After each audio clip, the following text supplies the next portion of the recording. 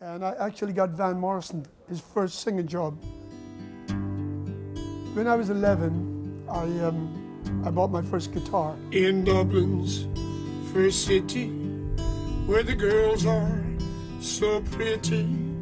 I used to listen to people like Buddy Holly and Elvis Presley, and I, I was just besotted by music, absolutely besotted by music. As a former member of Fox, Yellow Dog, and Van Morrison, Herbie Armstrong was well underway to musical success. The time I was 14, I was in my first group in Ireland, Northern Ireland, and um, we used to do a lot of touring. And we used to get the, the job of playing with um, quite famous people in those days as a backing group. Uh, they would send over tapes of the music we had to learn, and um, then they would fly into Belfast, Northern Ireland, and we would rehearse with them for the day, and then we'd go on tour. And I was like 14, 15 years of age. So that was my first real experience of playing professionally. And then as I got older, I, I joined a, a, an orchestra, quite a big orchestra in Belfast in a local dance hall. Just bit by bit, I sort of, you know, progressed in music and, um, you know, doing what I love. After finding success with Belfast talent The Wheels, in the mid 70s Herbie joined Fox, which led to Armstrong and Young writing chart breaking record Georgina Bailey. From there, Herbie and Kenny Young formed Yellow Dog, which saw just one more night reach the top 10 in the UK charts. After vast achievements and various appearances on Top of the Pops, Herbie then set his sights on something bigger.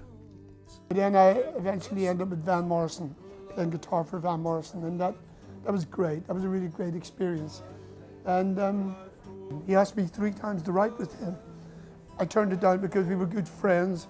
I played in his band, and I thought, he's a very temperamental person. And I thought, if I, if I write, if I get that close, writing is a very, you know, it can be difficult. It can be very difficult, and you can get very frustrated by it. And I didn't want anything to upset our friendship. And I thought, maybe I, maybe I couldn't spend hours and hours writing with him. I could spend hours rehearsing with him, and in his band. Playing in renowned bands isn't the only thing that Herbie is noted for. In 2011, Armstrong became part of one of the UK's biggest TV shows. The only reason I did Britain's Got Talent, I'd written a song, and a friend talked me into doing Britain's Got Talent, just in case Louis Walsh or Simon Cowell would hear the song and sign it up for one of their acts.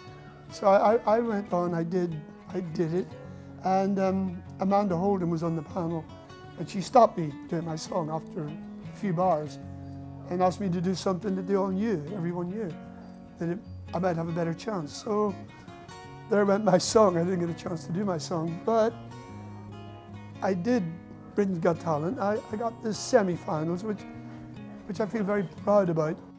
Despite seeing much success from appearing on Britain's Got Talent, Herbie caused a great deal of controversy and many people were in uproar, suggesting that he had already had his chance. Many viewers turned to social networking sites to vent their frustrations and various newspapers published articles fueling the debate.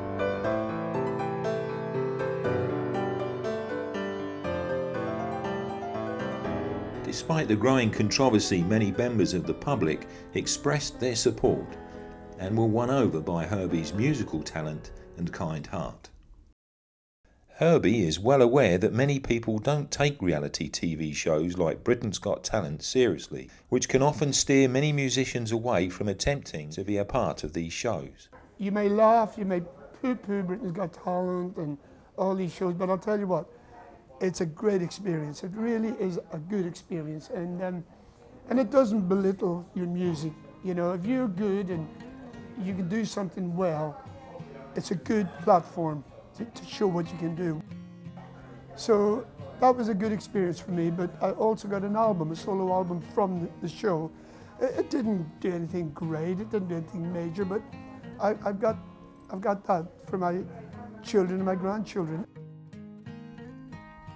Herbie's success throughout his musical career is proof of how easy it used to be to stand a chance in the music industry.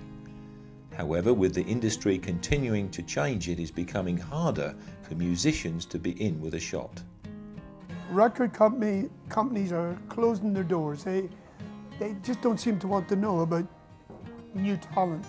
But to send a record or a tape or anything to a record label today, it usually gets it gets binned. It, it, they don't even listen to it. I don't know. I don't know why. Because in my days, if you had any an ounce of talent, the record companies would listen to you. They'd give you a chance. They'd let you make a single they put that single out to the radio stations to see if the radio stations liked it. So thousands of bands, thousands of bands over, over maybe a span of 10 years or whatever, were becoming mega, mega big. Radio stations playing new bands all the time. Now I tune into radio too, and I hardly ever hear anybody new. I don't know about Radio 1 because that's not my kind of music anymore, but you know, you don't often hear new talent on the radio. And you don't often hear record labels signing up new talent. I had a young band called Noise Next Door uh, from Leigh Park, Triplets. They had a number 10, number 11 record in the charts. And they were discovered in here by a friend of mine who's a producer. He produces Celine Dion and Bryan Ferry and a lot of other people. I phoned him up, he came down, signed the young boys up. They did really well but then Warner Brothers, major label, bought them out of the small label that they were on, that they had the success on, bought them out for a million pounds. They didn't see any, well, hardly any of that money. But Warner Brothers lost them because they got caught up in a big mega organization who, if you don't go to the very top, they drop you.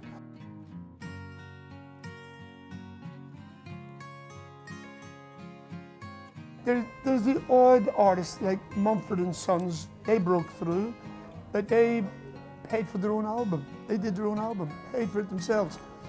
Obviously, I, I, I'd have thought they couldn't get a record deal or they wouldn't have done that. But they, they paid for their own album and now they're mega, mega, sold millions of albums.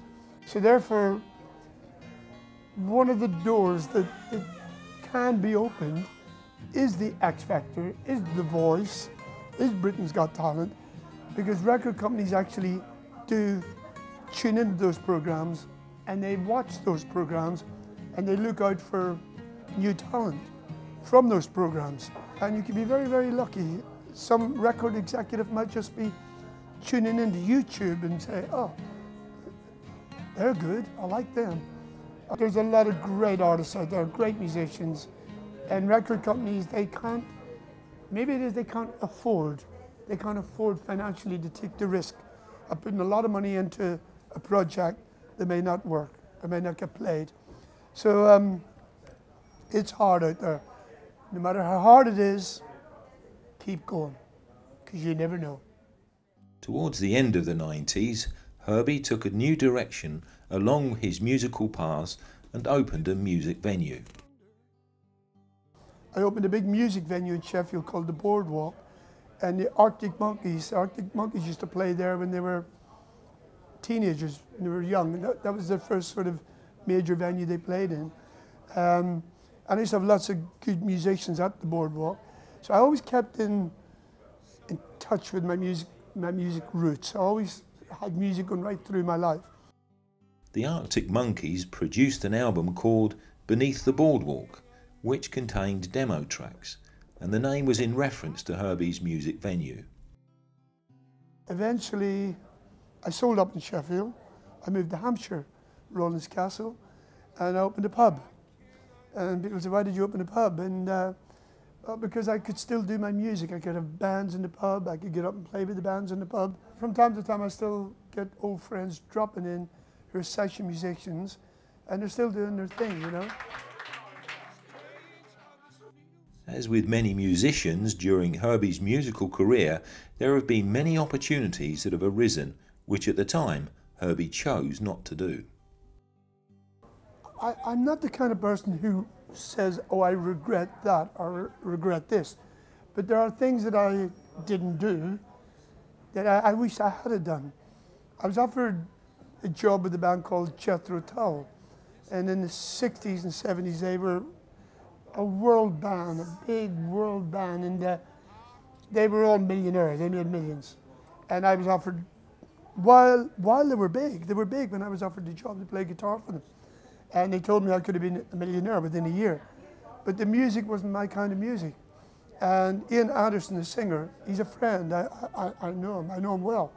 I still stay in touch with him. And, um, but because it wasn't my music, my kind of music, I said no. Um, I turned down the Bee Gees. I was offered to play guitar for the Bee Gees.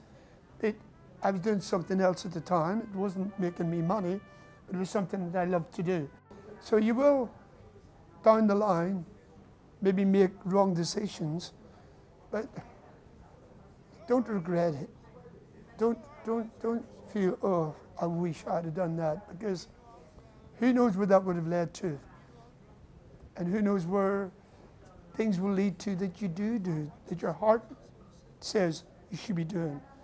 And you you, you, you feel that's what I want to do. And money doesn't come into art. It's a weird thing. It's great if you make it. Great, great if you make it and you make a lot of money and you're doing what you love. But what you do, you do music because you love it. And believe me, you don't go into music thinking, I'm going to do this to make a fortune. You go into it because that's what you want to do. It's in your heart, it's in your soul. It's what you want to do, be a creator of music. Follow that, and who knows where it'll lead. When you're still in my heart.